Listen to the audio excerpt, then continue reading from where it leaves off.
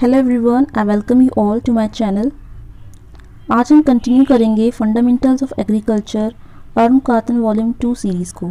और आज की जो लेक्चर सीरीज़ है, उसमें हम डिस्कस करेंगे chapter eleven that is stored grain pest video में आगे बढ़ने से पहले, अगर आप चैनल पे नए हैं चैनल को सब्सक्राइब करें वीडियो को लाइक करें, और साथ ही साथ में वीडियो को ज़्यादा से ज़्यादा शेयर करें उन लोगों तक जो भी आपके फ्रेंड्स हैं, जिनको ये बुक पढ़ने में डिफ़िकल्टी फेस हो रही है या फिर जिनके पास बुक नहीं है तो उनको ये लेक्चर सीरीज़ जो है उनके लिए बहुत ज़्यादा हेल्पफुल रहेगी तो उनको ज़रूर शेयर करें। तो ज़्यादा टाइम ना लेते हुए हम वीडियो में आगे बढ़ते हैं स्टार्ट करते हैं आज का chapter now we start this chapter so in this chapter इसमें हमको पढ़ना है स्टोर्ड ग्रेन पेस्ट के बारे में, यानी ऐसे इंसेक्ट पेस्ट या ऐसे माइक्रो ऑर्गेनिजम्स जो हमारे स्टोरेज के टाइम पे लग जाते हैं, किसी भी क्रॉप में लाइक जो भी क्रॉप हमने स्टोर करी है तो स्टोरेज के टाइम पे जो भी हमारे पेस्ट लग जाते हैं ग्रेन्स में क्रॉप्स में they are known as stored grain pest और ये जो बुक है, उसमें आप देख सकते हैं जो टेबल दी गई है, ये बहुत इंपॉर्टेंट टेबल है। इस पूरे चैप्टर का जो मेन जिस्ट है, वो यही है ये टेबल तो इस टेबल में हमको क्या करना है? इस टेबल में हमको जो इम्पोर्टेंट स्टोर्ड ग्रेन पेस्ट है, उसके नाम, उनकी याद करने यानी इनका कॉमन नेम और जीनस और स्पीशीज जीनस स्पीशीज़ मिलके बनता है साइंटिफिक नेम तो यहाँ पे हमें उनका साइंटिफिक नेम लर्न करना है along with family and order okay उसके बाद हमको क्या करना है, ये सारे इंसेक्ट पेस्ट जब हम पढ़ लेंगे तो पढ़ने के बाद हमको क्या पढ़ना है, इनका कंट्रोल मेजर अब इन सारे इंसेक्ट को हम कैसे कंट्रोल करेंगे, उन मेथड्स को हम पढ़ेंगे, पर वो बट वो जो कंट्रोल वाला पार्ट है, ये हमारा सेकेंडरी पार्ट है। हमारा जो मेन काम है अभी वो हमें पढ़ना है इन इंसेक्ट पेस्ट के नाम। ठीक है? अब जो इंसेक्ट पेस्ट के नाम हम डिटेल में पढ़ें उससे पहले मैं आपको एक इन्फॉर्मेशन दे देती हूँ यहाँ पे कि जितने भी हम इंसेक्ट पेस्ट पढ़ने वाले हैं आज की वीडियो में उसमें आ, हम सबसे पहली बात तो आपको पता है हम क्या पढ़ने वाले जा रहे हैं स्टोर्ड ग्रेन पेस्ट तो जितने भी हमारे स्टोर्ड ग्रेन पेस्ट होते हैं उनका जो ऑर्डर होता है वो दो ही ऑर्डर को बिलोंग करते हैं। या तो उनका ऑर्डर होता है कोलियोप्टेरा या तो कोलियोप्टेरा ऑर्डर को बिलोंग करेंगे जिसमें हमारे बीटल्स वगैरह आते हैं। ठीक है, या तो वो बिलोंग करते हैं लैपिटोप्टेरा ऑर्डर को। लैपिटोप्टेरा में इसमें जो हमारे स्टोरेज के टाइम पे हम बात करेंगे तो स्टोर्ड ग्रेन में जो लैपिटोप्टेरा पेस्ट लगते हैं, वो ज़्यादातर हमारी होती है मौत ठीक है तो कोलिप्टेरा में हम पढ़ेंगे बीटल्स के बारे में। ठीक है, ज़्यादातर बीटल्स जो होते हैं, वो स्टोर ग्रेन पेस्ट कैटेगरी में आते हैं, और ज़्यादातर जो लैपिटोप्टेरा में हम पढ़ेंगे मौत के बारे में पढ़ेंगे। तो बेसिकली इनका जो ऑर्डर रहने वाला है वो कोलिप्टेरा और लेपिडोप्टेरा में से दोनों में से एक ऑर्डर रहने वाला है। बाकी साइंटिफिक नेम है फैमिली है, वो हम आराम से आज ट्रिक की हेल्प से लर्न करने वाले हैं। तो आज की जो वीडियो है, बहुत ज़्यादा इंपॉर्टेंट है इंटरेस्टिंग है। कुछ अमेजिंग ट्रिक के साथ हम इन नेम्स को लर्न करेंगे। तो वीडियो को स्टार्ट करते हैं आगे। तो टोटल इलेवन इंसेक्ट पेस्ट के नाम हमको पढ़ने हैं, जो स्टोरेज में लगते हैं। तो सबसे पहला नंबर में जो हमारा इंसेक्ट है that is rice weevil okay.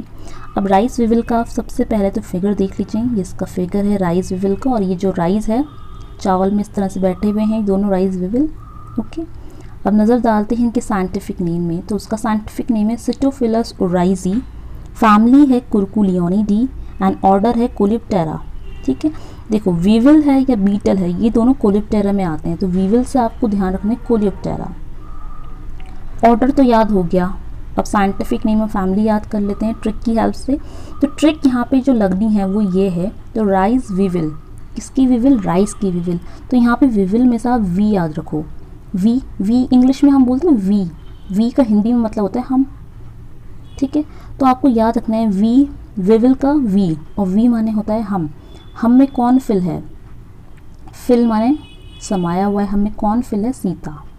Sita को आप बना दो, सीतो। ठीक है? सीता, याद रखो। हम सबके अंदर कौन फिल है? सीता फिल है। ठीक है? तो सीता हम सबके अंदर फिल है। तो फिल और सीता से बना सीटोफिलस। और सीता जो हम सब में फिल है दैट इज़ सीटोफिलस। और किसकी विविल है? राइस राइस का तो आपको साइंटिफिक नेम अब तक याद हो गया होगा। और राइस का जो साइंटिफिक नेम हम बोलते हैं दैट इज़ और राइजा सटाइवा। ये जो चावल है, उसका साइंटिफिक नेम होता है राइजा सटाइवा। अब राइस की विविल तो ओराइजा लगा दो आप आगे।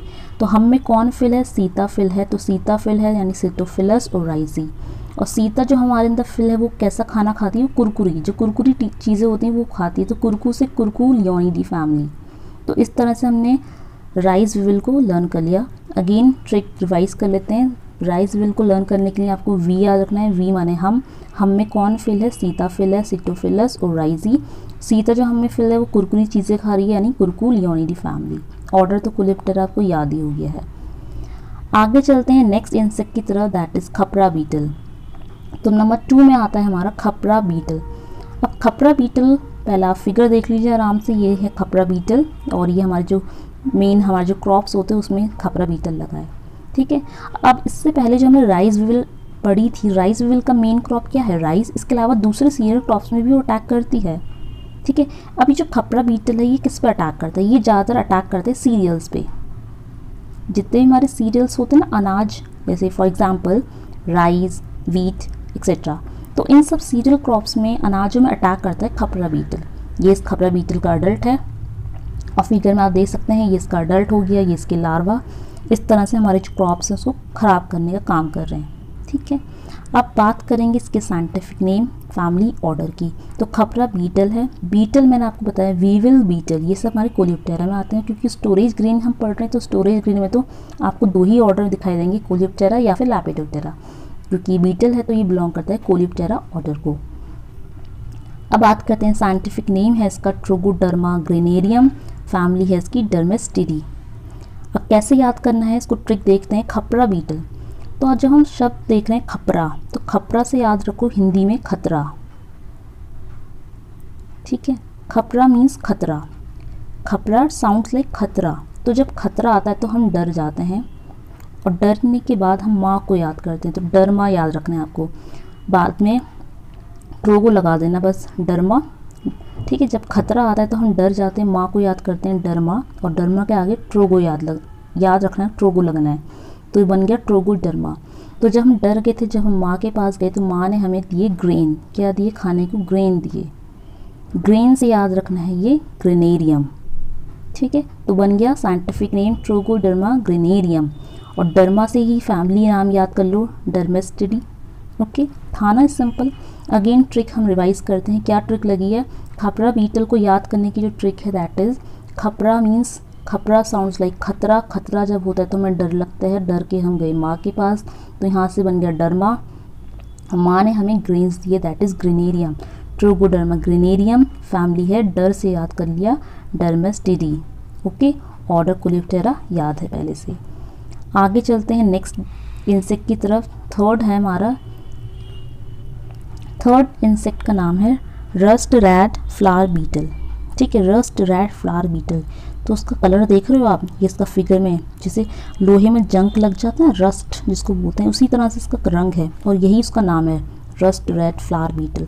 Flour यानी आटा। तो ये देख सकते हो आप, आटे में इस तरह से घूम रहे हैं ये फ्लावर बीटल। ठीक है, अब साइंटिफिक नेम देखते हैं इसका। फिगर देख ली होगी आपने। अब साइंटिफिक नेम की तरफ़ बढ़ते हैं। तो रस्ट रेड फ्लावर बीटल का साइंटिफिक नेम है, ट्राइबोलियम कास्टेनियम, फैमिली है इसकी टीनी ब्रियोनिडी और ऑर्डर कोलिप्टेरा। बीटल है अगेन तो कोलिप्टेरा होगा, याद है। अब बच्चा क्या इसकी? फैमिली और साइंटिफिक नेम बचता है तो वो याद करते हैं। अब साइंटिफिक नेम जो अगर हम याद करेंगे तो आपको एक चीज़ ध्यान रखनी है, ये हमेशा ना तीन के पेयर में रहते हैं। मतलब पेयर तो दो चीज़ों का होता है, कि इनकी तीन में रहते हैं। हमेशा इनकी बोल सकते हैं हमेशा, कहीं भी रहेंगे तो तीन नंबर में रहेंगे। ठीक है, एक, दो, तीन, ये तीनों बीटल हैं रेड रस्ट फ्लावर बीटल हैं, ये तीनों, ठीक है? और ये तीनों आपस में बात कर रहे हैं। और आपको पता होगा, तीन के लिए हम क्या शब्द यूज़ करते हैं? ट्राई तीन के लिए हम यूज़ करते हैं ट्राई और तीनों आपस में बोल रहे हैं, बोली। तीनों आपस में क्या कर रहे हैं? बोल रहे हैं, बोल रहे हैं। तो ट्राई बोलियम याद रख लो। तीनों आपस में बोल रहे हैं ट्राइबोलियम और किसके बारे में बोल रहे हैं? यानी बोल रहे हैं किसके बारे में? कास्ट के बारे में। कास्ट कास्ट सिस्टम, ठीक है? कास्ट सिस्टम नहीं, पर कास्ट याद रखो, जातिवाद, ठीक है? तो जो तीन छोटे छोटे red rust red flour beetle हैं, तीन हैं, बोल रहे हैं कास्ट के बारे में तो इसका साइंटिफिक नेम बन जाएगा। ट्राई तीन है तो ट्राई बोल रहे हैं तो बोलियम ट्राइबोलियम किसके बारे में बोलें? कास्ट तो कास्टी, कास्टेनम याद रखना है ट्राइबोलियम कास्टेनियम। ठीक है? और फैमिली का नाम भी इनका ऐसी है, तीन। क्योंकि हमेशा तीन है ना? साइंटिफिक नेम में भी तीन आ रहा है ट्राई और उनकी जो फैमिली है, वो भी तीन है। टेनी ब्रियोनिडी ठीक है? अगर आप शुरू का टीनी भी याद रख सकते हो ना तो तब भी आपका काम बन जाएगा। ट्रीनी ब्रियोनिडी फैमिली हो गई। ठीक है? आई होप सो आपको जो ट्रिक है समझ में आ रही होगी। अगेन रिवाइज करते हैं। रेड रेस फ्लावर बीटल हमेशा तीन में रहते हैं। तिकड़ी होती है इनकी। तीन की तिगड़ी में रहते हैं और तीनों आपस में तीन है तो तीन के लिए हमने ये शब्द यूज़ करा। ट्राई बोल रहे हैं ट्राइबोलियम किसके बारे में बोल रहे हैं? कास्ट के बारे में बोल रहे हैं ट्राइबोलियम कास्ट कास्टेनियम फैमिली भी इनकी तीन करके ये तीनी ब्रयोनिडी आगे चलते हैं नेक्स्ट कैटेगरी पे। Sorry not next category next insect पे। तो जो हमारा नेक्स्ट स्टोर्ड ग्रेन पेस्ट है that is lesser grain borer सबसे पहले हमने पढ़ा rice weevil second khapra beetle third हमने पढ़ा रस्ट रेड फ्लावर बीटल और अभी चौथा है हमारा फोर्थ नंबर पे है हमारा लेसर ग्रेन बोरर आप फिगर में देख सकते हैं इसका, ये फिगर है और ये किस तरह से हमारे क्रॉप्स को ख़राब कर रहा है, आप देख सकते हैं। ठीक है? अब जो लेसर ग्रेन बोरर है, नाम देखो उसका लेसर लेसर माने कम, ये कम रहते हैं, बहुत कम है इनकी संख्या। तो ये ज़्यादा पेड़ के ऊपर नहीं पहुँचेंगे, ये पेड़ के नीचे वाले हिस्से में रहेंगे। हमारा जो प्लांट होता है, वैसे ही होता है ना? नीचे क्या है? जड़ें हैं। तो जो लेसर ग्रीन बॉर्डर है, ये लेस नीचे नीचे रहते हैं। यहाँ नीचे, ज़मीन के नीचे। ज़मीन के नीचे क्या है? रूट्स क्या है ये रूट्स हैं? और आपको पता होगा कि रूट्स को हम राइजोस्फेयर बोलते हैं। क्या बोलते हैं? राइजोस्फेयर तो तो आपको यहाँ पे ध्यान रखना है ट्रिक में। अभी हम इसका साइंटिफिक नेम की ट्रिक बना रहे हैं। तो जो लेसर ग्रीन बॉर्डर होता है, ये एकदम ज़मीन के नीचे जड़ों के पास रहता है। और जड़ को हम क्या बोलते हैं? राइजोस्फेयर तो मैं आपसे अगर पूछूँ कि लेसर ग्रीन बॉर्डर कहाँ पर था? कहाँ पर था? ठीक है, हिंदी में जैसे बोलते हैं कहाँ पर था? तो लेसर ग्रीन बॉर्डर कहाँ पर था? राइजो पर था.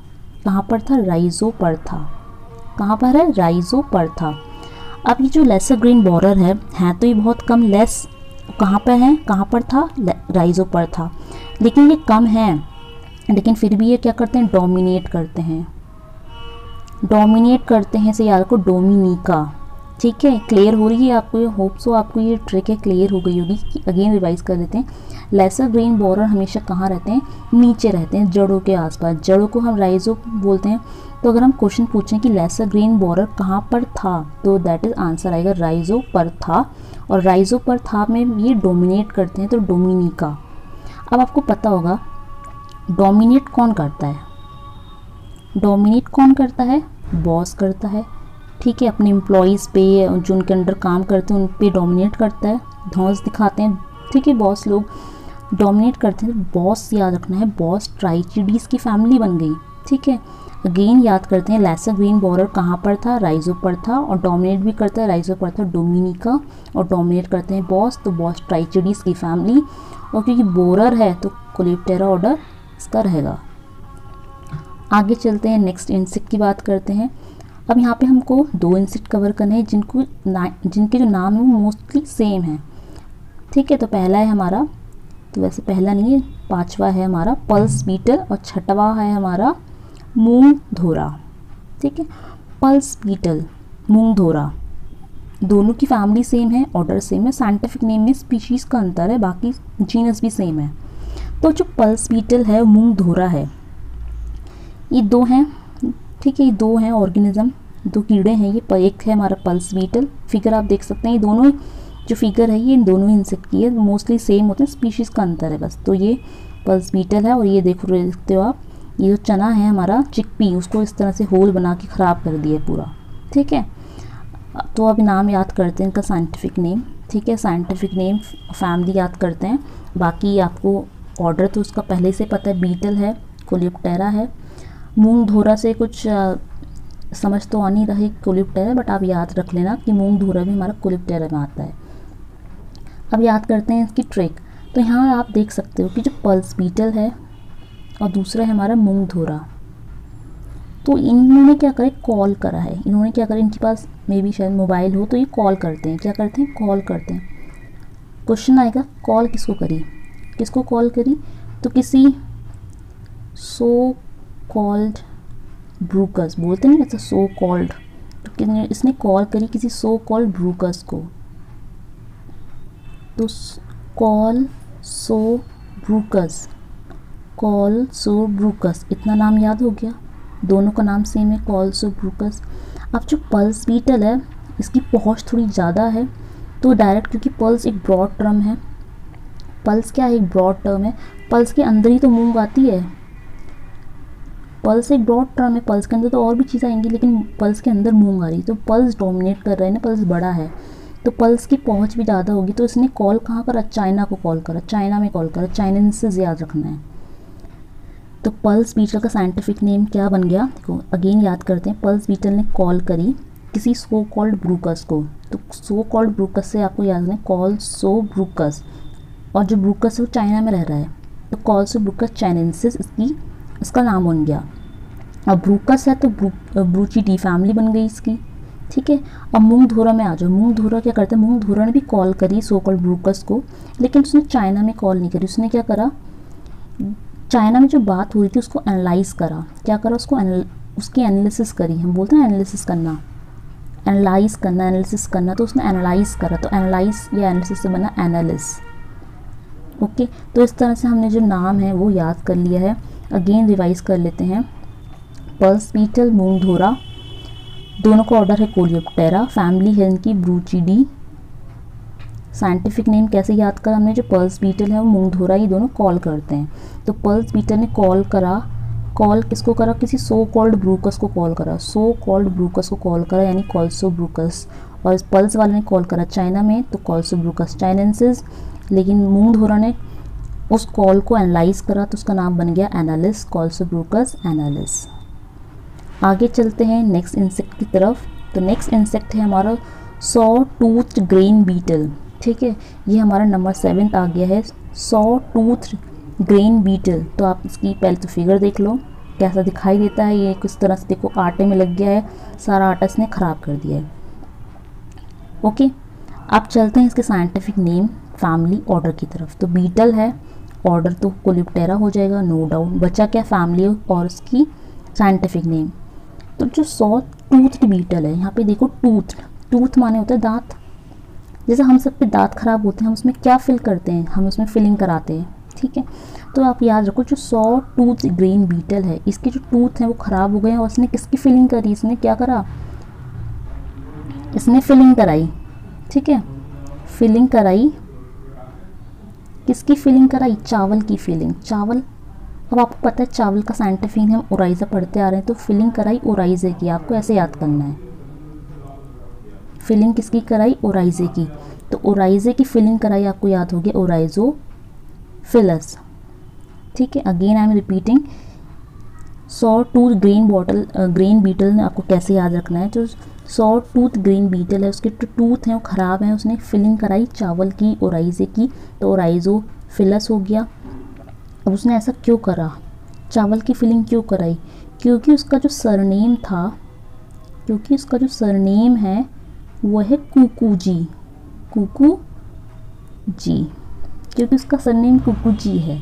सरनेम सरनेम से आप याद रखो ये, स्पीशीज़ का नाम दैट इज़ सूरीनामेंसिस ठीक है सरनेम सूरी नामेंसिस और सरनेम है कुकू जी तो कुकू जी से याद रख लो उसकी family cucujidae okay हो गया होगा होप सो आपको learn saw tooth green beetle का साइंटिफिक नेम क्या है? सौ टूथ टूथ उसके टूथ में क्या फिल था? ओराइजे ओराइजोफिलस फिल था, क्यों फिल था? क्योंकि उसका सरनेम कुकुजी था। सर तो उसका साइंटिफिक नेम बन जाएगा ओराइजो ओराइजोफिलस सूरीनामेंसिस फैमिली कुकुजीडी।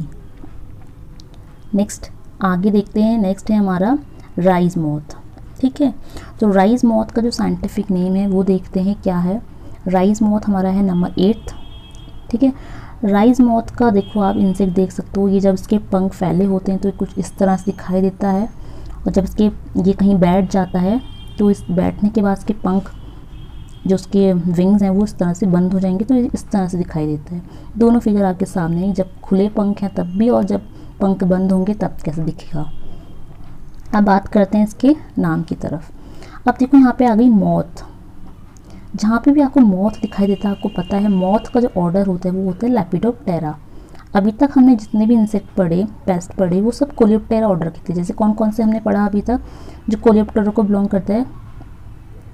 कोलियोप्टेरा को हमारे कौन कौन बिलोंग करता है? सबसे पहले हमने पढ़ा राइस विविल ठीक है राइस की जो विविल थी राइस की विविल वी माने हम हम में क्या फिल थे सीता, सीतोफिलस और आइजी दूसरा हमने पढ़ा, खपरा बीटल। खपरा से याद रखो, खतरा खतरा आता है तो हम डर के माँ को याद करते हैं, जो फिर वो हमें ग्रेन देती है।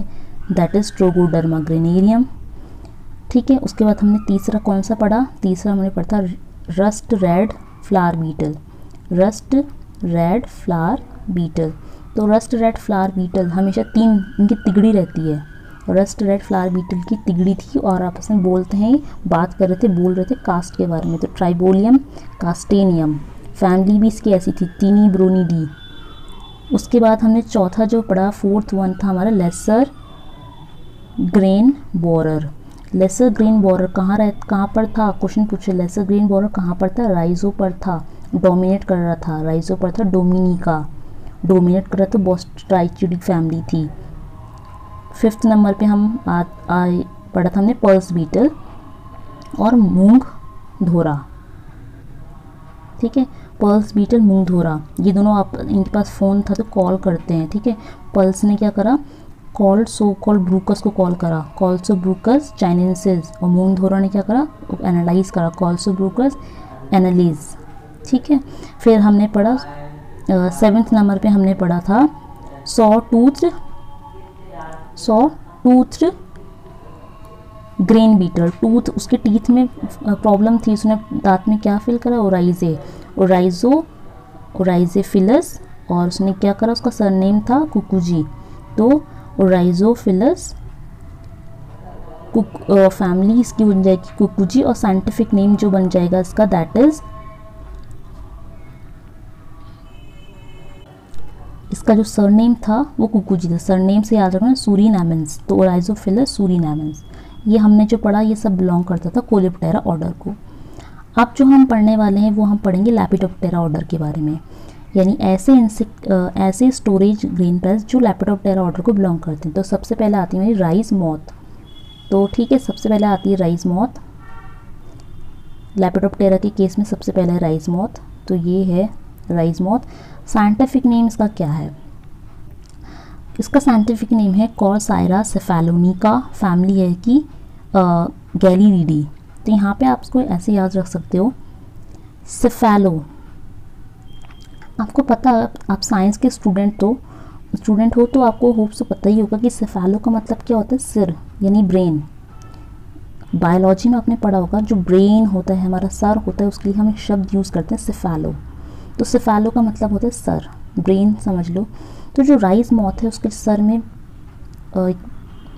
इसको सर में क्या है उसके दिमाग में हमेशा यही चलता है कि उसको निकाह करना है। क्या करना है? निकाह। मॉडर्न में जो शादी होती है ना, निकाह तो उसका साइंटिफिक नेम बन जाएगा सिफेलो निका अब ये कॉर्सायरा आप खुद याद रख लो, ठीक है? कॉर्सायरा लगा देना। तो राइस मौत का साइंटिफिक नेम क्या है? राइस मौत के जो सफ़ैलो होता है उसका सर उसमें उसको बस यही है कि उसका निका करना है। तो उसका साइंटिफिक नेम बन जाएगा कॉर्सायरा सेफेलोनिका और सेफेलोनिका जब नि, उसका निका हो जाएगा तो कहाँ पर रहेगी? किसी गली में रहेगी। किसी गली में रहेगी। तो गली से गैरी रीडी ये भी याद हो गया। ओके अगेन रिवाइज करते हैं। राइज मौत राइज मौत जो है ये आपके सामने है राइज मौत इसका जो सर है सर को बोलते हैं सिफेलो और उसके सर में बस एक ही चीज़ घूमती है इसका निका हो जाए। कॉर्सायरा सेफेलोनिका निका। करने के बाद ये कहाँ रहेगी? गली में रहेगी गैलीरिडी ओके, डन, आगे बढ़ते हैं।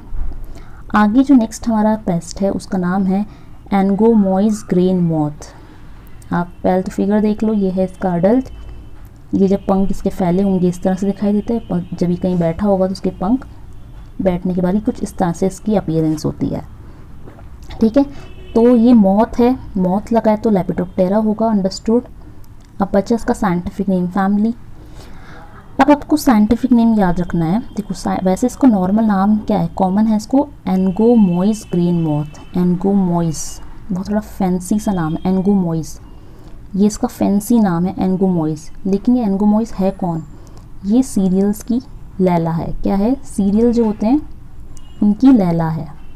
तो सीरियल की लैला है तो आपको याद रखना, सीरियल लैला। ठीक है? सीटोट्रोगा, आप खुद याद रख लो। ठीक है? एनगोमोइस कौन है? सीरियल की लैला है और सीटोट्रोगा सीरियल लैला बन गया। अब सीरियल की जो लैला है वो खाती क्या है? वो खाती है जेली। क्या खाती है? जेली खाती है। जेली चिड़ी फैमिली हो गई। ठीक है? एनगोमोइस में हमने कैसे ट्री बनाई है? एनगोमोइस जो है सीरियल की लैला है, सीरियल लैला। सीटोट्रोगा, याद रख लो। और ये सीरियल की लैला खाती है जेली तो जेली चिटी फैमिली हो गई। नेक्स्ट, आगे चलते हैं, एलमंड मौत। अब ये जो एलमंड मौत है मौत है तो लेपिडोप्टेरा को ही बिलोंग करेगी नो डाउट अब ये जो एलमंड मौत है, अब पता ही होगा एलमंड बादाम बादाम को अगर आप देखो तो बादाम को टूटने में, उसको काटने में, कटने में बहुत टाइम लगता है। बहुत समय लगता है, वो बहुत हार्ड होता है ना ड्राई फ्रूट है हार्ड होता है, एकदम से आसानी से कटता नहीं है, ठीक है? तो काटने में मेहनत लगती है। तो एलमंड मौत जो है, उसने बादाम को काटने के लिए इस्तीफ़ा लिया। क्या लिया? इस्तीफ़ा। इस्तीफ़ा, जब हम कहीं काम करते हैं तो वहाँ से इस्तीफ़ा लेते हैं रिज़ाइन करते हैं। तो एलमंड मौत ने इस्तीफ़ा लिया। इस्तीफ़ा से आप याद रखो इफेस्टिया और इस्तीफ़ा क्यों लिया? बादाम को काटने के लिए। तो काटने से याद रखो कटेला। तो साइंटिफिक नेम बन गया इस्तीफ इफेस्टिया कटेला। इस्तीफ़ा से याद रख लो, ठीक है? ये आप याद रखो, जो एलमंड मौत है, उसने क्या करा? इस्तीफ़ा लिया एलमंड को काटने के लिए। तो एलमंड मौत ने क्या करा? इस्तीफ़ा लिया। तो इफेस्टिया कटैला, ठीक है? और जब इसने बादाम को काट लिया तो सा, बहुत सारे बादाम के जो पीसेस थे, उसने सेल करे। सेल के बाद उसको कुछ प्राइस लोगों ने पे करा। लोगों ने क्या करा, उसको प्राइज़ दिया, उसके बदले में पे करा। तो पे से याद रख लो Pyralidae family okay almond moth simple है एलमंड मौत में क्या था? एलमंड मौत ने इस्तीफ़ा दिया एलमंड को काटने के लिए दैट इज़ इफिस्टिया कटैला और एलमंड काटने के बाद उसने जब सेल करा, क्योंकि एलमंड बहुत महँगा ड्राई फ्रूट है तो उस, लोगों ने उसको कुछ पैसे दिए पे करे। पे करे यानी पैरेलिडी फैमिली आगे चलते हैं नेक्स्ट है हमारा। इंडियन मील मौत और अभी लास्ट है ओके तो अभी तक हमने कोलिप्टेरा ऑर्डर कंप्लीट करा। अब हमने लैपिडोप्टेरा में आगे हैं। लैपिडोप्टेरा में हमने अभी तक क्या क्या डिस्कस करा? हमने पढ़ा। लैपिडोप्टेरा में हमने सबसे पहले पढ़ा था राइस मौत ठीक है? हमने सबसे पहले पढ़ा राइस मौत राइस मौत का जो सर में बस निकाह करने की बात रहती है तो दैट इज़ कोर्सायरा सेफेलोनिका और निकाह करने के बाद वो गली में रहेगी गैलीरिडी फैमिली उसके बाद हमने बहुत फैंसी नाम पढ़ा। एनगोमोइस ग्रेन मौत एनगोमोइस कौन है? सीरियल की लैला है, जो जली खाती है दैट इज़ सीरियल की लैला यानी सीटोट्रोगस सेरियल लैला, जेली यानी जेली जेली चिडी फैमिली उसके बाद हमने पढ़ा एलमंड मौत एलमंड मौत एलमंड कट नहीं रहा था तो इस्तीफ़ा देना पड़ा उसको। इफिस्टिया कटेला, फिर लोग उसको कुछ पैसे दे रहे थे पे कर रहे थे पायरिलिडी फैमिली अब आ गए हैं हम लास्ट में। अब ये हमारा लास्ट स्टोरेज पेस्ट है, ठीक है? इलेवेंथ नंबर ठीक है? ओवरऑल अगर हम बात करें तो इलेवेंथ नंबर पे आता है हमारा इंडियन मील मौत या आप देख सकते हैं इसका अडल्ट है। जब पंख फैलाए होंगे तो इस तरह से दिखेगा। जब पंख इसके कहीं बैठा होगा तो इसके पंख इस तरह से दिखाई देते हैं। ये है हमारे इंडियन मील मौत ये भी बहुत इंपॉर्टेंट स्टोरेज ग्रीन पेस्ट है हमारा इंडियन मील मौत अब इसके शब्द में जाओ, देखो मील आप सबको पता होगा ना मिड डे मील स्कीम चली थी बीच में, ठीक है, मिड डे मील की स्कीम होती है। तो मील का मतलब होता है खाना, भोजन, खाना या फिर भोजन, ठीक है। अब इंडिया की जो मील थी, भोजन, इंडियन मील मौत को मील में क्या मिला, खाने में क्या मिला? तो इंडिया में आप सब क्या खाते हो? पुलाव खाते हो आप सब, ठीक है। तो इंडिया में हम मील में, भोजन में पुलाव खाते हैं, जो चावल से बनता है पुलाव। तो इंडियन मील मौत को भोजन में क्या दिया? पुलाव दिया। क्या दिया? क्वेश्चन पूछा अपने आपसे क्या दिया? पुलाव दिया। तो पुलाव दिया से आप याद रख लो। प्लोडिया। अब ये जो इंडियन मील मौत है, इसको जिस प्लेट में, जिस पतीले में, जो भी आप समझ लो, जिसमें हमने इसको पुलाव दिया था, ये इंडियन मील मौत ने उसमें उसमें ही क्या कर दिया? बीच में पंक्चर कर दिया। बीच में। अब बीच में मतलब इंटर आप पढ़ते हो, दो शब्द पढ़ते हो, आप इंटर इंट्रा जिसका मतलब होता है बीच में, ठीक है? तो बीच में पंक्चर कर दिया। बीच में यानी इंटर और पंक्चर कर दिया। तो उसको आप याद रख सकते हो इंटर पंक्टेला ठीक है? इंडियन मील मौत मील माने भोजन। भोजन में क्या परोसा? भोजन में क्या परोसा नहीं, भोजन में क्या दिया याद रखो। दिया प्लाव दिया। तो प्लाव दिया वो भी उसने, उसमें बीच में पंक्चर कर दिया इंटर पंक्टेला अब जब उसने बीच में पंक्चर कर दिया तो लोगों ने उसको क्या दी? सज़ा दी और सज़ा के तौर पे उसने क्या करा? उसने फ़ाइन दिया। फिर उस मौत को फ़ाइन देना पड़ा। और वो फ़ाइन उसने पूरी सिटी को दिया, पूरे शहर को दिया फ़ाइन दिया पूरी सिटी को। पंक्चर कर दिया, लोग नाराज़ हो गए। पंक्चर करने के बाद उसको सज़ा दी कि उसको फ़ाइन देना पड़ेगा पूरी सिटी को। तो फ़ाइन दिया पूरी सिटी को that is five city five city D family फ़ाइन दिया सिटी को five city D family moth Lepidoptera को ही बिलोंग करेगा, ठीक है? तो होप सो इस तरह से जो हमने ट्रिक से आपको पूरा याद कराया है, आपको अच्छे से समझ आ गए होंगे। और वीडियो में अगर आप अभी तक बने हो, वीडियो को लाइक नहीं करा तो एक बार वीडियो को लाइक ज़रूर कर दें। अब हम आगे चलते हैं रिवीजन अब हम आगे रिवीजन करेंगे बट रिवीजन करने से पहले एक बार वीडियो को लाइक कर दें शेयर कर दें और चैनल को सब्सक्राइब ज़रूर कर दें। और वीडियो को ज़्यादा से ज़्यादा शेयर करा करें उन लोगों तक जिनको ये वीडियो की सबसे ज़्यादा ज़रूरत होती है, जिनको सच में नीड है, उन तक शेयर करें। अब हम रिवीजन कर लेते हैं कि अब तक जो हमने पढ़ा, हमें कितना याद रहा। ठीक है? तो एक बार ट्रिक से हमने सब कुछ पढ़ा था तो हम वही ट्रिक लगा के सब कुछ यहाँ पे फिल करते हैं। तो ये दो कॉलम्स आपके लिए छोड़ रखे हैं, ये आपको फिल करने हैं, ठीक है? हम मिलके फिल करेंगे। तो पहले तो हम यहाँ देख लेते हैं, हमारे जो कॉमन पेस्ट थे टोटल इलेवन हमने पढ़े अभी तक। सबसे पहले पढ़े हमने राइस विविल सबसे पहले तो आपको ऑर्डर याद रखना है। तो ऑर्डर का कोई कॉलम बना नहीं है तो ऑर्डर हम यहाँ पे अलग से लिख लेते हैं ऑर्डर ठीक है? अब देखो स्टार्टिंग में विविल है तो कोलियोप्टेरा को बिलोंग करेगा। खपरा बीटल कोलियोप्टेरा है। अगेन बीटल बोरर ठीक है? तो यहाँ तक। ये सब हमारे कौन है? कोलियोप्टेरा है। इतने हैं हमारे कोलियोप्टेरा ऑर्डर के इंसेक्ट और नीचे है मौत मौत मौत सब जगह मौत है तो मौत है हमारी लेपिडोप्टेरा लेपिडोप्टेरा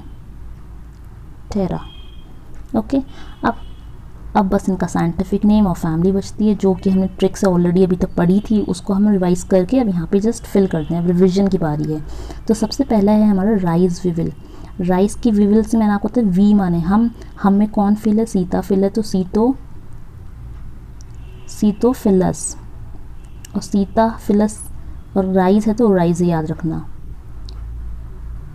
इसका साइंटिफिक नेम बन जाएगा सिटोफिलस ओराइजी और फैमिली क्या होगी इसकी? सीता फिलस ओराइजी सीता जो फिल है हमारे अंदर, उसको कैसा खाना पसंद है? कुरकुरा। तो कुर कुरकू लियोनिडीज की फैमिली हो जाएगी। ओके नेक्स्ट है हमारा खपरा बीटल खपरा बीटल खपरा यानी खतरा। खतरे में हमें डर लगा, डर से हमने माँ को याद करा। डरमा। डरमा से पहले ट्रोगो लगा देना। ट्रोगो डरमा और माँ ने हमें ग्रेन दिए तो ग्रेनेरियम ट्रोगो डरमा ग्रेनेरियम और डरमा से इसकी फैमिली की हमने याद करी थी। डरमेस टीडी डरमेस टीडी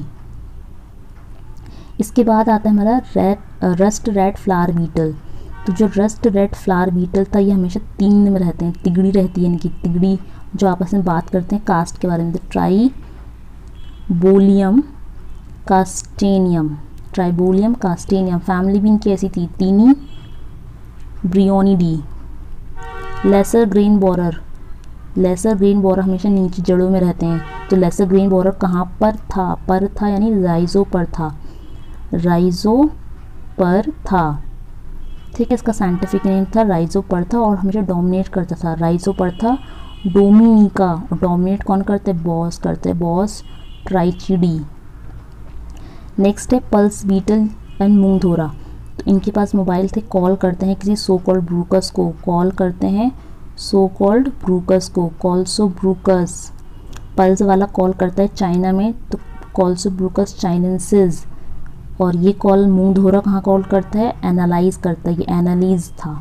फैमिली है ब्रूकस से ब्रूचिटी फैमिली ओके सब साफ़ कर देते हैं अब अगेन तो हमने यहाँ तक डिस्कस कर लिया है पल्स बीटल तक, मुँह धोरा तक। अब नेक्स्ट हमारा सौ टूथ ग्रेन बीटल ठीक है? टूथ उसके दांत में किस, किसकी फिलिंग थी? ओराइजे की। तो ओराइजो फिलस साइंटिफिक नेम क्या बन जाएगा उसका? ओराइजो फिलस और उसका सरनेम था कुकुजी सरनेम से याद रखना है। सूरी नेमेंसिस कुकुजी फैमिली कुकुजी मतलब Cucujidae then rice moth rice moth के सर पे क्या सवार है? इनका सर यानी सिफेलोनिका करना है इनका और आ, आगे कॉर्सायरा ज़रूर लगाना है आपको। तो उसका साइंटिफिक नेम हो जाएगा कॉर्सायरा सिफेलोनिका और निका करके एक गली में रहने का इरादा था इसका Gelechiidae family. Angoumois grain moth Angoumois नाम तो बहुत अजीब है इसका फैंसी सा नाम है लेकिन ये सीरियल्स की लीला है सीरियल्स की लैला है। ठीक है, और इसके आगे आपको सीटोट्रोगा याद रखना है। तो उसका साइंटिफिक नेम हो जाएगा सीटोट्रोगा सीरियल लेला और सीरियल की लीला क्या खाती है? जेली खाती है। जेली चिड़ी फैमिली उसके बाद नेक्स्ट है हमारा नेक्स्ट है हमारा एनग्विस एनग्यूमोइस ग्रीन मौत के बाद नेक्स्ट है एलिमेंट ग्रीन मौत अब जो एलिमेंट ग्रीन मौत है एलिमेंट बहुत कटते नहीं आसानी से, इस्तीफ़ा दिया उसने अपना। इस्तीफ़ा से याद रखना है इफिस्टिया इफिस्टिया कटैला। इफिस्टिया कटैला। फिर बाद में इसने काटने के बाद लोगों को बांटे तो लोगों ने इसको कुछ पैसे पे करे। पैरे लीडी फैमिली। इंडियन मील मौत। मील माने होते हैं भोजन। तो इंडियन मील मौत को भोजन में क्या दिया? क्या दिया? प्लाव दिया। तो प्लाव दिया प्लोडिया और उसने उसमें बीच में पंक्चर कर दिया। इंटर पंक्टेटा ठीक है? Interpunctella. और पंक्चर करने के बाद फिर लोगों ने इसको क्या करा सज़ा के तौर पे? बोला कि तुम सबको कुछ फ़ाइन दो। तो फ़ाइन दिया उसने पूरी सिटी को। तो फ़ाइन दिया पूरी सिटी को that is five C T D तो इस तरह से हमने जो ट्रिक के साथ इनके scientific name family order learn करा था तो होप सो आपको ये लर्न हो गया होगा और यहाँ आपका लास्ट में अच्छे से रिविजन भी हो गया होगा। Now we discuss the protection against these storage grain pest ठीक है। अब तक हमने जो स्टोरेज ग्रेन पेस्ट थे, उनके बारे में डिटेल मतलब उनका साइंटिफिक नेम फैमिली ऑर्डर ये सब पढ़ा। अब इन स्टोरेज ग्रेन पेस्ट से हम किस तरह से अपने क्रॉप्स को प्रोटेक्ट कर सकते हैं अब हमको ये पढ़ना है। तो सबसे पहले है तो यहाँ पे देखना है कि हम अपने अगर क्रॉप्स को प्रोटेक्ट करना चाहते हैं तो यहाँ पे दो इंपॉर्टेंट प्रिंसिपल्स फॉलो करने होंगे। ठीक है? दो इंपॉर्टेंट प्रिंसिपल्स क्या क्या हैं? फ़र्स्ट प्रिंसिपल है at the time of storage the grain must be completely free from the pest infestation या इन्फेक्शन जब हम किसी भी ग्रेन को स्टोर करते हैं तो उससे पहले हमें मेक श्योर sure करना होगा कि हमारे जो ग्रेन्स हैं, वो एकदम क्लीन हो। उसमें किसी भी तरह का प्रीवियसली कोई इन्फेक्शन या इन्फेस्ट्रेशन की पॉसिबिलिटी ना हो। एकदम क्लीन और हाइजीनिक होने चाहिए। नेक्स्ट प्रिंसिपल है and the grains should be stored और on a such place where the chance of infestation और इन्फेक्शन इज़ मिनिमम सबसे पहले तो जिस ग्रेन को हम स्टोर करना चाहते हैं, वो ग्रेन्स कम्प्लीटली क्लीन होने चाहिए और जिस जगह पे हम उसको स्टोर करेंगे, वो प्लेस जो होती है जगह, यानी स्टोरेज हाउस या वेयर हाउस जो होने चाहिए, वो भी एकदम साफ़ सुथरे होने चाहिए नीट एंड क्लीन होने चाहिए, ताकि वहाँ पे कोई इन्फेक्शन या इन्फेस्ट्रेशन ना आ जाए। तो ये दो इंपॉर्टेंट प्रिंसिपल्स थे, यानी जो जो जगह है वो साफ़ सुथरी होनी चाहिए, जो ग्रेन्स हम वहाँ लेकर आएँगे वो साफ़ सुथरे होने चाहिए। ओके तो बेसिक इन्फॉर्मेशन थी बेसिक सी जानकारी थी। अब आगे क्या है? Damage of storage grain pest depends mainly on three factors अब ये जो डैमेज होता है, हमारा जो ग्रेन्स है, वो डैमेज होते हैं because of these three factor ये तीन फैक्टर दिए हैं। अगर इन फैक्टर्स को हमने ठीक से कंट्रोल नहीं करा तो हमारे जो क्रॉप्स हैं, वो डैमेज हो सकते हैं। क्या क्या फैक्टर्स हैं? सबसे पहले है हमारा मॉइस्चर कंटेंट जब भी हम किसी ग्रेन को स्टोर करते हैं तो हम एक स्पेसिफिक मॉइस्चर कंटेंट पे ही उसको स्टोर करते हैं। जैसे आपको पता होगा, जो हमारे सीरियल्स हैं, ज़्यादातर अनाज जो हमारे सीरियल्स को हम स्टोर करते हैं, वो approximately twelve percent moisture content पे स्टोर करते हैं। इसके बाद जो हमारी पल्सेस हैं, वो थोड़ा और कम मॉइस्चर होना चाहिए उनके अंदर। और जो हमारे मसाले होते हैं स्पाइसेस ऑयल सीड्स इनके अंदर और कम मॉइस्चर होना चाहिए अराउंड एट परसेंट तक, ठीक है? तो जो हम चीज़ों को स्टोर करने के लिए जब भेजते हैं तो मेक श्योर कि उनका मॉइस्चर कंटेंट ऑप्टिमम होना चाहिए। नेक्स्ट फैक्टर है ऑक्सीजन अवेलेबिलिटी कैसी है? जो स्टोरेज का रूम है, जो हमने ऑलरेडी क्लीन कर रखा है, वहाँ पे ऑक्सीजन सप्लाई कैसी है, कितनी ऑक्सीजन अवेलेबल है, उसका ध्यान रखना होगा। Because oxygen very important role play करती है किसी भी लिविंग के रिस्पायरेशन में, ठीक है? इंसेक्ट्स को क्या चाहिए उनको? रिस्पायर के लिए ऑक्सीजन चाहिए तो ऑक्सीजन अवेलेबिलिटी मेंटेन रखनी होगी प्रॉपर और लास्ट फैक्टर होता है वहाँ का टेम्परेचर बिकॉज़ टेम्परेचर से भी हम बहुत सारी चीज़ों को कंट्रोल कर सकते हैं। जनरली हाई टेम्परेचर बहुत होगा तो जनरली हाई टेम्परेचर पे इंसेक्ट जो है वो पैदा नहीं होते। इंसेक्ट्स को हाई टेम्परेचर से प्रॉब्लम होती है। तो हाई टेम्परेचर रखेंगे तो इंसेक्ट्स नहीं होंगे। ठीक है? तो तीन फैक्टर्स हमको मेनली देखने पड़ेंगे। जब हम किसी भी स्टोरेज के लिए या फिर किसी भी क्रॉप को स्टोर करते हैं तो स्टोर करते टाइम क्रॉप्स का मॉइस्चर कंटेंट कैसा है, ये देखना होगा। अंदर जहाँ स्टोर करेंगे, उस जगह का ऑक्सीजन लेवल और टेम्परेचर रेंज देखनी होगी। और अगर हम ये सब चीज़ें मेंटेन नहीं कर पाएँगे तो हमें obviously we will face the problem of storage grain pest ठीक है, इसके अलावा स्टोरेज ग्रीन जो पेस्ट होते हैं, वहाँ का जो स्टोरेज स्ट्रक्चर्स हैं कंस्ट्रक्शन है डिज़ाइन है, ये सारे फैक्टर्स भी अफेक्ट करते हैं। तो अब मोटा मोटा हमको जो पढ़ना है ब्रॉडली वो ये पढ़ना है कि हम इनको कंट्रोल कैसे करें? अगर बाई चांस हमारे इंसेक्ट पेस्ट एंटर करेंगे या एंटर ना करें तो उससे बचने के क्या तरीके हैं? तो दो तरीके हमको पढ़ने हैं। पहला तरीका है हमारा प्रिवेंटिव मेज़र और दूसरा है हमारा क्योरेटिव मेज़र ठीक है प्रिवेंटिव मेज़र हम कब अप्लाई कर सकते हैं? जब हमारा पेस्ट इन्फेस्टेशन हुआ ही नहीं है। तो ये one of the best method होता है। ये एक तरह का प्रिवेंटिव मेज़र है, यानी बचना। पेस्ट इन्फेस्टेशन नहीं हो, इससे बचने के लिए क्या क्या तरीके हैं? That is preventive measure curative measure का मतलब होता है कि पेस्ट इन्फेस्टेशन हो चुका है। अब उसकी रोकथाम कैसे करें? यानी उसको काबू में कैसे करें? कंट्रोल में कैसे करें? यानी जितना पेस्ट का इन्फेस्टेशन है, उसको ही हमें कंट्रोल करना है। तो ये मेथड जो होता है that is known as after pest infestation तो अब हमको ये दो मेथड के बारे में ही डिटेल में देखना होगा। तो पहला आता है हमारा प्रिवेंटिव मेज़र अब जो प्रिवेंटिव मेजर्स होते हैं, इसमें हम कैसे प्रिवेंट कर सकते हैं? सपोज़ हमने क्या करा? हमने किसी सीड को लेकर आए, हमने पहले उसका सीड ट्रीटमेंट कर दिया। तो ये भी एक तरह का प्रिवेंटिव मेजर है कि किसी भी सीड को हम सोइंग से पहले उसको ट्रीट कर दें। या फिर हम क्लीन कल्टीवेशन प्रैक्टिसेस फॉलो कर रहे हैं, जो भी हम मशीन्स यूज़ कर रहे हैं कल्टीवेशन में, वो सब क्लीन होनी चाहिए। तो ये भी एक तरह का प्रिवेंटिव मेज़र है। ठीक है? गोडाउंस में जहाँ पे हम रखेंगे, वो एकदम नीट एंड क्लीन होना चाहिए। ये भी प्रिवेंटिव मेज़र है। Then moisture content of the seed or grain at the time of harvesting must be more than 14 percent harvesting के दौरान जो मॉइस्चर रहता है, जब हम हार्वेस्टिंग करते हैं, वो अराउंड 14 परसेंट होना चाहिए। और उसको बाद में हम क्या करते हैं? सन ड्राइंग करते हैं। धूप में फैला देते हैं सूखने के लिए। और मॉइस्चर कंटेंट जो पहले 14 था हार्वेस्टिंग के टाइम पे, वो कम होते होते अराउंड 12 परसेंट या उससे भी कम अप्रॉक्स एट परसेंट तक माना जाता है कि आइडियल मॉइस्चर होना चाहिए जब हम स्टोर करने जा रहे हैं।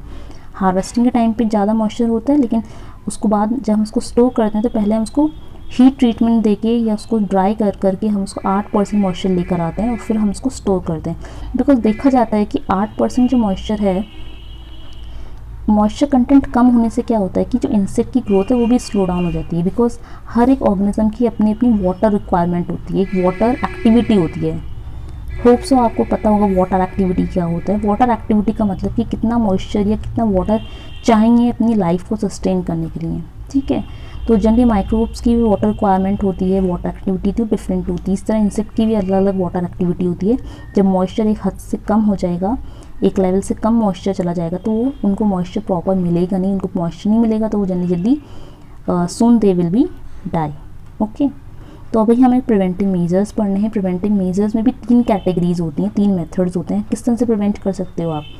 एक तो साफ़ सफ़ाई करके हाइजीन मेंटेन करके हाइजीनिक मेथड दूसरा कुछ फ़िज़िकल मेथड्स होते हैं फिज़िकली लाइक हम किसी चीज़ को गर्म कर दें, ठंडा कर दें। ठीक है, इस तरह से फ़िज़िकल मेथड्स होते हैं। केमिकल मेथड्स में हम इंसेक्टिसाइड्स का यूज़ कर सकते हैं। ठीक है? तो पहला है हमारा साफ़ सफ़ाई हाइजीनिक मेथड या हाइजीनिक मेज़र इसमें हम क्या कर सकते हैं? सपोज़ हम थ्रेशिंग यार्ड जो होते हैं हमारे, जहाँ पे हम थ्रेशिंग करते हैं threshing yard should be away from the greenery and should be clean greeneries का मतलब जहाँ पे हम ग्रेन को स्टोर कर रहे हैं।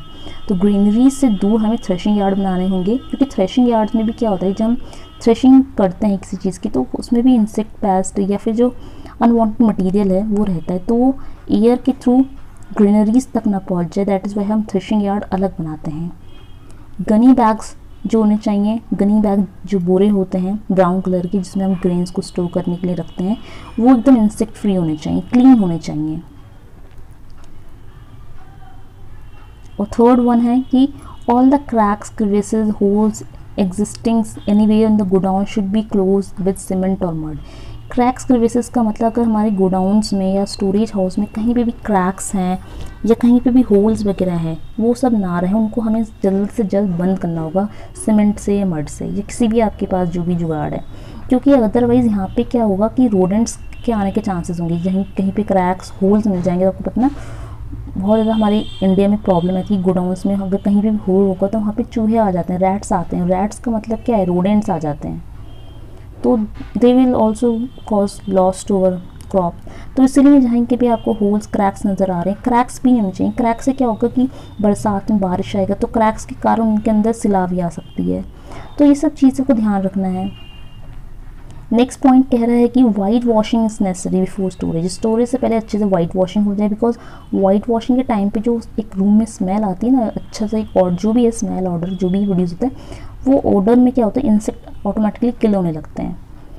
और नेक्स्ट पॉइंट है कि before storage the store should be disinfectant with the spray of malathion malathion एक इंसेक्टिसाइड इसका स्प्रे कर सकते हैं। Fifty percent E C emulsifying concentration होता है इसका, जिसको हम वन रेशो हंड्रेड में उसका सॉल्यूशन बनाएँगे। वन पार्ट मैलाथियन है और हंड्रेड पार्ट जो है वो वाटर का है, ठीक है?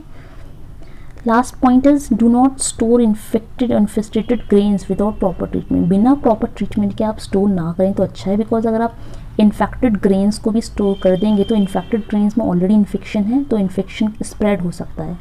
तो ये कुछ इंपॉर्टेंट पॉइंट्स हैं जो आपको हाइजीनिक में ध्यान रखने हैं। आगे चलते हैं फ़िज़िकल मेजर्स फ़िज़िकल मेजर्स में हम क्या कर सकते हैं? ग्रेन्स को ड्राई करो।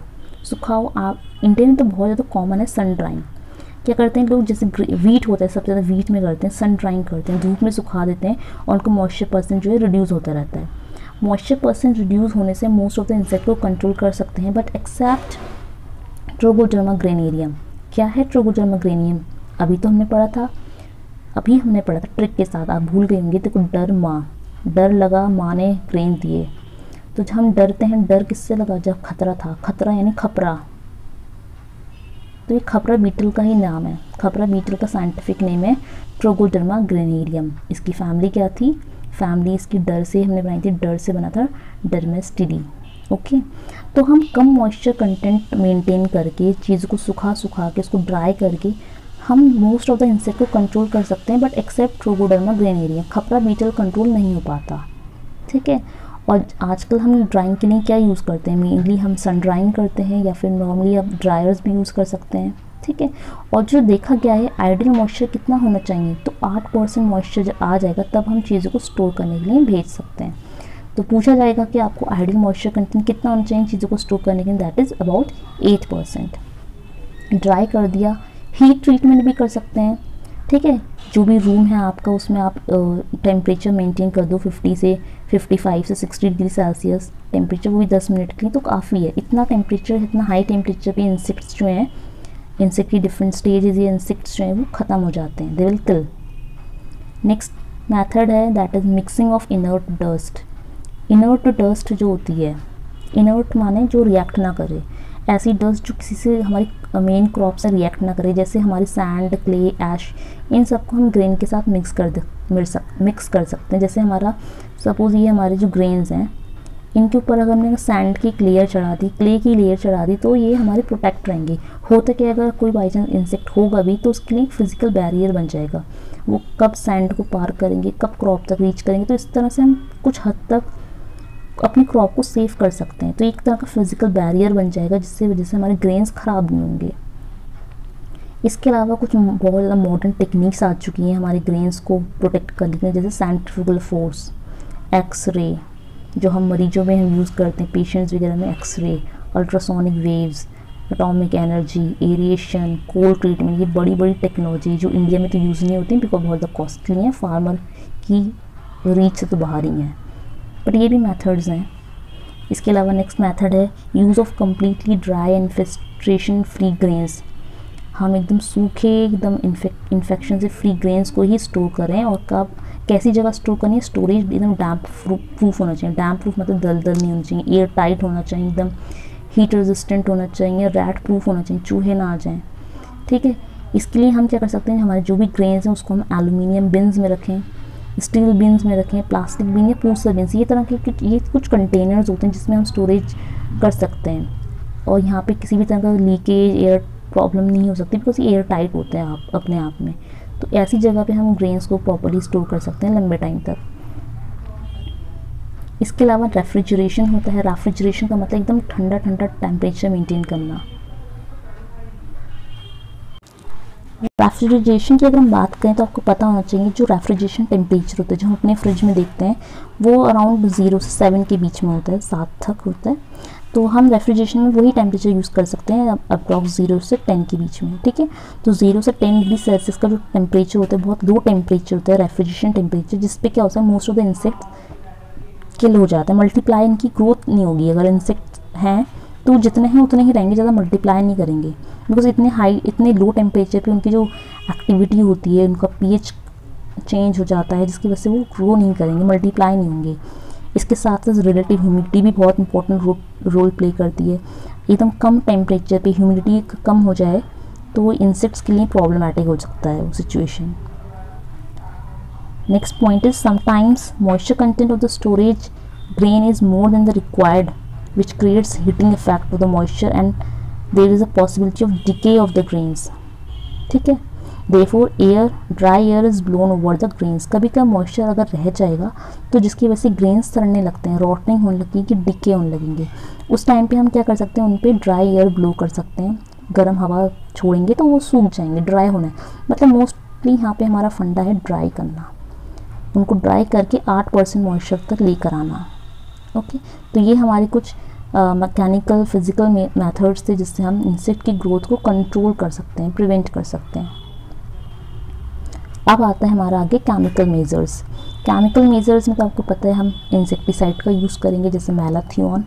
ठीक है? मेलाथियन का अगर हम स्प्रे करते हैं वन रेशियो हंड्रेड में तो मोस्ट ऑफ़ द इंसेक्ट्स को कंट्रोल कर सकते हैं। और इसका स्प्रे हम कब करेंगे? जो ग्रेन के बैग्स होते हैं वॉल्स हैं, हमारे जो स्टोरेज हाउस होते हैं, वहाँ के जो वॉल्स हैं, ज़मीन है फ्ला फ्लोर पे हम इसका स्प्रे कर सकते हैं। इसका कितना अमाउंट में स्प्रे करना है? That is three litres per hundred square metres ठीक है? तीन लीटर स्प्रे काफ़ी है इंसेक्ट को कंट्रोल करने के लिए। इसके अलावा नेक्स्ट हमारा है D D V P that is dichlorvos ये भी इंपॉर्टेंट इंसेक्टिसाइड है मैलाथियन कर सकते हैं डाइक्लोरोवॉस पर स्प्रे कर सकते हैं। ठीक है?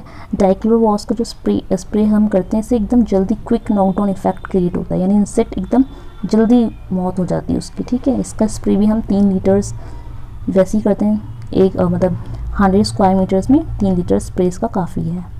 इसके अलावा अगर हमारे पास कुछ इंसेक्टिसाइड नहीं है हम तो हम कुछ ऐसे इंसेक्टिसाइडल प्रोडक्ट्स भी यूज़ कर सकते हैं जैसे इंसेक्टिसाइडल डस्ट के नाम से जाना जाता है जैसे कैम्फर कपूर नाप्थलीन इसके अलावा ड्राई नीम लीव्स जो नीम के सूखे पत्ते हैं tobacco parthenium dust derris roots ये भी इंपॉर्टेंट इंसेक्टिसाइडल प्लांट है जिसमें इंसेक्टिसाइडल प्रॉपर्टीज़ होती है डेरीज रूट तो इन सब का यूज़ कर सकते हैं। आपने नॉर्मल अपने घर में भी देखा होगा ना जो कपूर होता है कपूर और नीम का कॉम्बिनेशन एक आ, हम क्या करते हैं इसमें कपूर लेके नीम के पत्ते रख देते हैं उसको जला देते हैं तो उससे मच्छर नहीं आते। तो ये क्यों करते हैं? बिकॉज़ कपूर है नीम है नीम के सूखे पत्ते इन सब में इंसेक्टिसाइडल प्रॉपर्टीज़ हैं।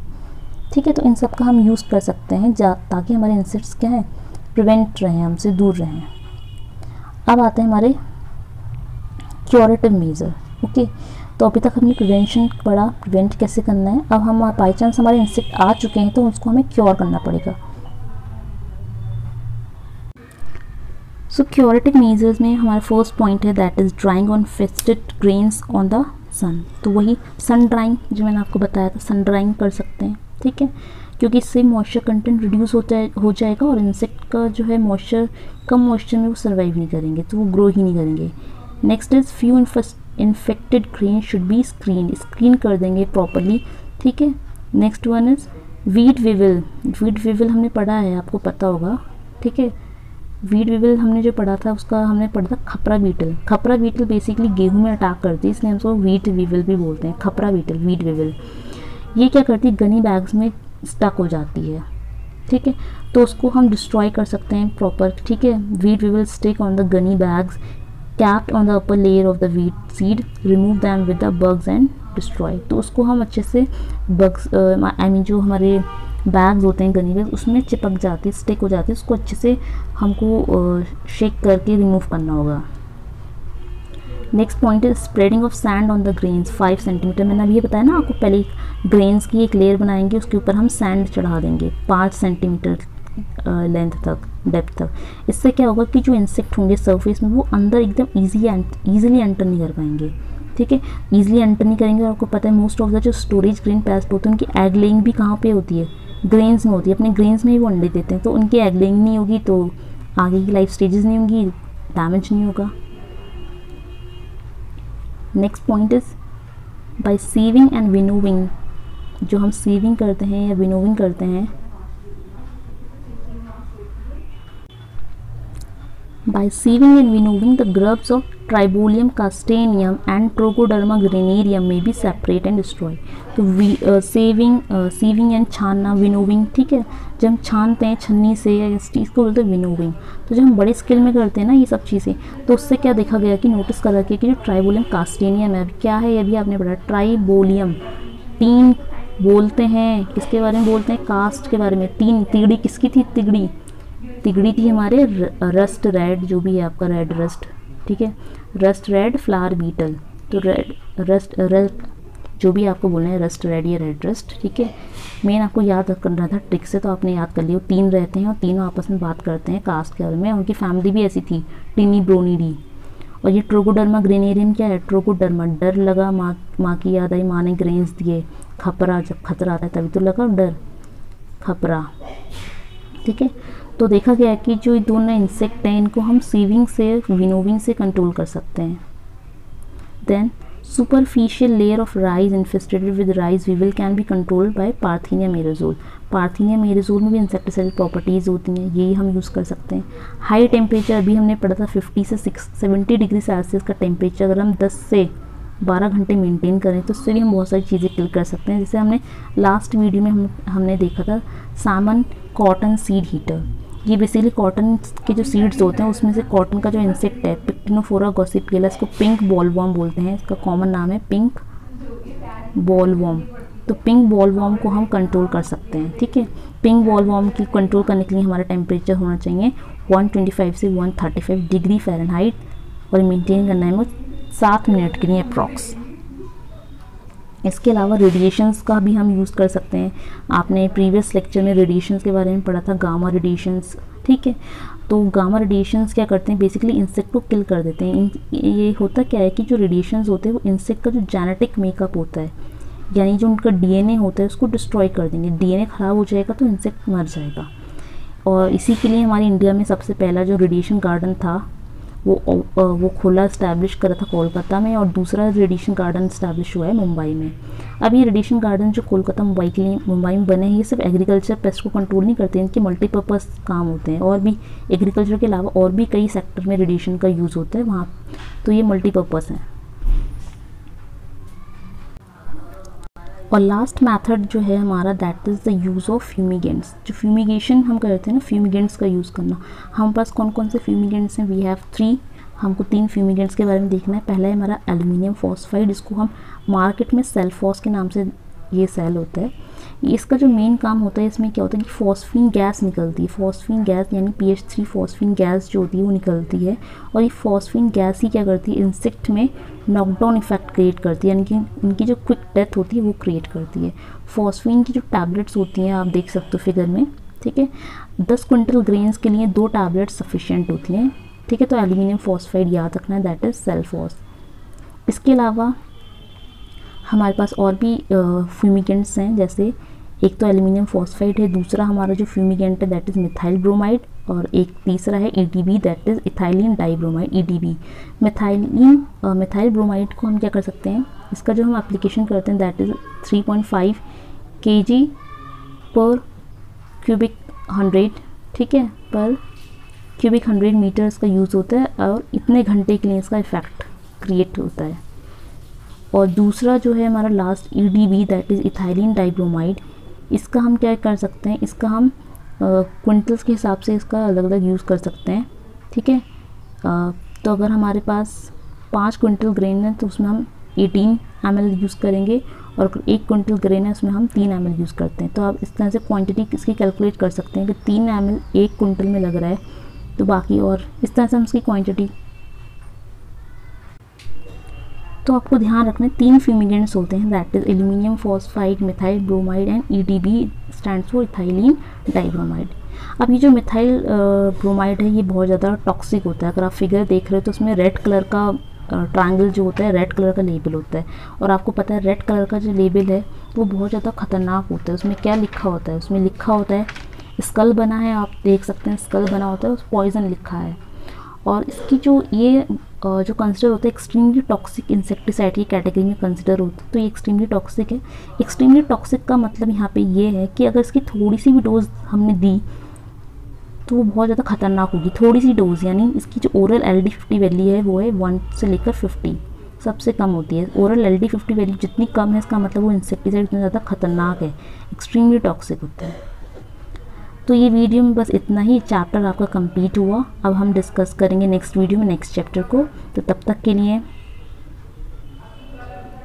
अगर आपको ये वीडियो अच्छा लगा है तो वीडियो को एक लाइक करें और कमेंट करके ज़रूर बताएँ। Thank you guys for watching this video